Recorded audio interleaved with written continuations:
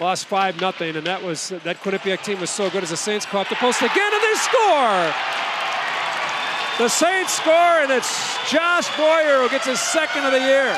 Comes back to Graff, to Lee. Lee to Lipkin. Circle to circle, laid out in front side of the net, and they score. Wait, missed the pass. It's it back. Lips one over to Crystal. To Chapleau, walks down the slot, shoots one, glove save, score! Off the glove of Mironov and in. Thought he had it.